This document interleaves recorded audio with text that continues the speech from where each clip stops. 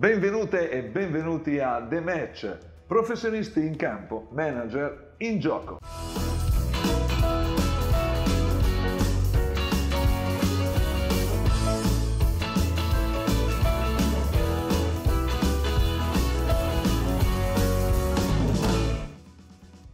Relatore diceva, si può scoprire molto di più di una persona giocandoci per un'ora che in un anno di conversazione. Sono Germano Lanzoni e per scoprire i manager che fanno la differenza li ho invitati a giocare con me. La vera sfida è affrontare le sfide. Oggi giocheranno con me Mi chiamo Anna Migliorati. Federico Barbaglia. Paola Vitale. Il mio nome è Leandro Pecchia. Laura Gangitano. Alessandro Testa. Paola Bozza. Sono una persona determinata a cui piace godersi la vita. Una persona che vuole rilasciare risultati. Credo una persona molto umile, cioè che si ricorda esattamente da dove è venuto. Una persona con tanta curiosità. Amo le persone coraggiose. Persona empatica, appassionata di tutto ciò che coinvolge e riguarda la vita degli altri. Mi piace mettermi in gioco, trovarmi in situazioni nuove perché penso che posso sempre imparare, c'è tanto da imparare. La vera sfida è affrontare le sfide. Una cosa prima di iniziare, prima di lanciare la pallina, ho scoperto che eh, l'anagramma della parola manager è germana. Ma va che roba strana, no? Cioè il mio lato femminile è pronto per gestire la mia azienda, il quello maschile fa i disastri, questo lo dico per personalmente. Prima pallina, prima domanda, la faccio a te, a Paola, dopodiché potete scatenare qualunque istinto calcistico, di calcio barile che avete dentro. Cosa deve fare oggi un manager?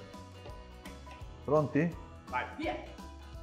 Tantissime cose. Partiamo dall'agenda, che è un'agenda ormai assurda, spalmata su n argomenti nella giornata, quindi si salta da un argomento all'altro, abbiamo- bisogna avere la capacità di mantenere lucidità e determinazione. Un leader io penso che debba avere prima di tutto visione, deve essere anche in grado di riuscire a trasmettere questa visione, condividerla.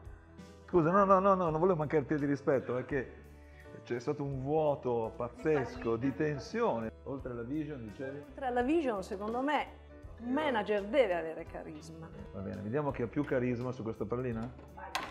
E poi, per non finire, anche il team, Gol! il team Grazie. per un manager è fondamentale. È un buon team con te, eh? Sì, ottimo, ottimo. Nulla da dire. Abbiamo preso due gol. Vabbè, ma questo, cioè, chi, chi è che non commette errori durante il proprio percorso?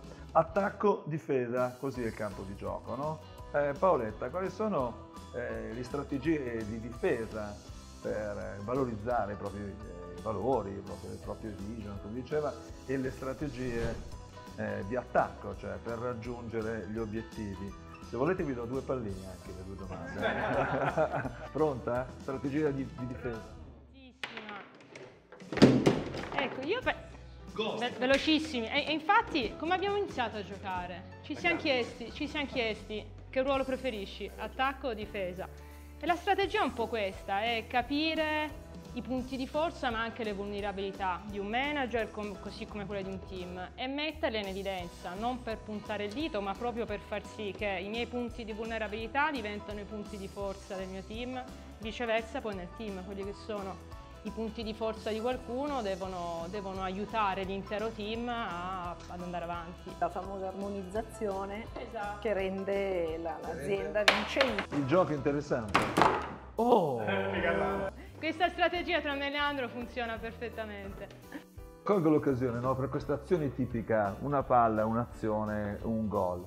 Fede, è ancora possibile che esista una figura unica che gestisce tutta l'azienda? Io ritorno a quello che ha detto Paola, che non parlo tanto di gestione, ma nella capacità di dare un indirizzo, condividere diciamo, questo indirizzo con altre- gli altri membri del gruppo di lavoro e riuscire diciamo, a, a stabilire questa rotta, fa sì che, che le persone siano in grado poi di seguire quello che il leader dice. Sei troppo concentrato, eh, rispondimi anche giocando.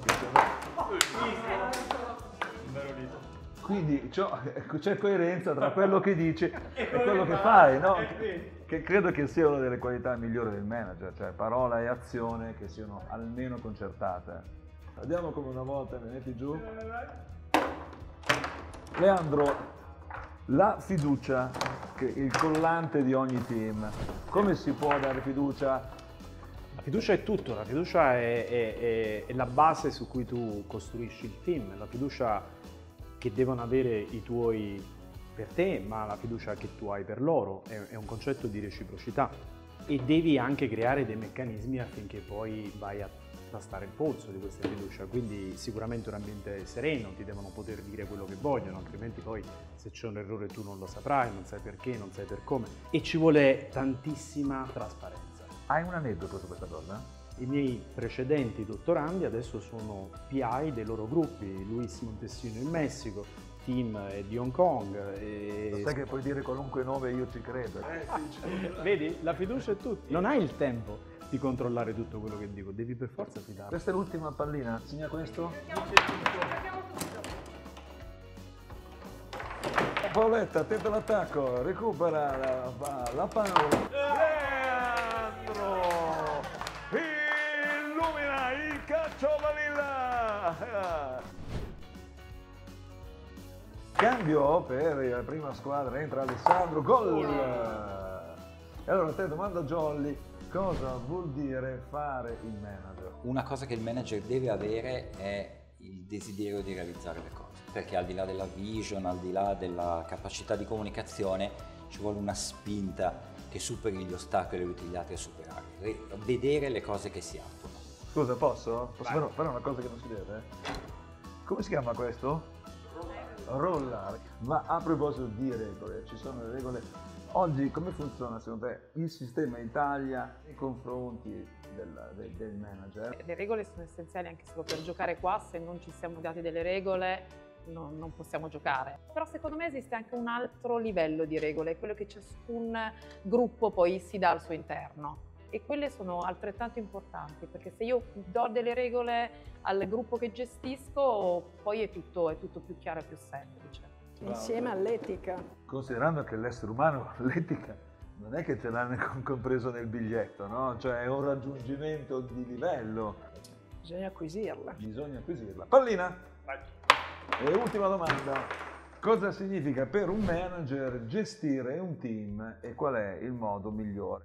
Essere capaci di trasmettere passione, motivazione anche al tuo team, io penso che sia un valore aggiunto. E legato a questo c'è l'aspetto culturale, anche la cultura aziendale, cioè, si va al lavoro non per fare transazioni dietro un PC, bisogna veramente dimostrare al team cosa c'è dietro. Dietro c'è un'industria che deve soddisfare bisogni, che deve aiutare il cliente, quindi bisogna proprio trasmettere al team quello con un po' il goal e il purpose, diciamo. Hai detto gol, questo è l'ultimo gol. Quando il bar dice allora andate a casa sì o no? Io chiudo gli occhi e penso di essere negli anni migliori dove il gioco era l'unica attività. Gol! Grande Paolo! Ed è game over! La vera sfida è affrontare le sfide. Come si vince la sfida più importante nel tuo campo? Nel mio campo bisogna lavorare insieme. Voilà. Nel mio campo, con i social e con l'accesso ormai a tutte le informazioni e i content creator, si dice così, che ormai proliferano ovunque, credo che la sfida si vinca dimostrando che la verifica della notizia ancora sia importante. Io adesso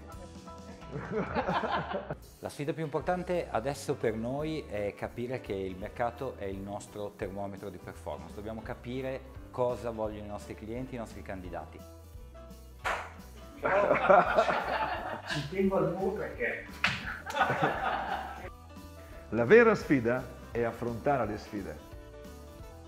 Out of the box oggi significa rompere le regole o stare negli schemi. Lo scopriremo nella prossima puntata di The Match.